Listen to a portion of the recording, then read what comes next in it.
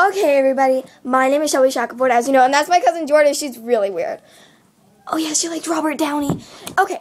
Anyway, now I'm gonna be doing. I'm gonna be lip singing somebody I love. But anyway, I really do it for my fans. Okay, so watch start? the video. Let's play it.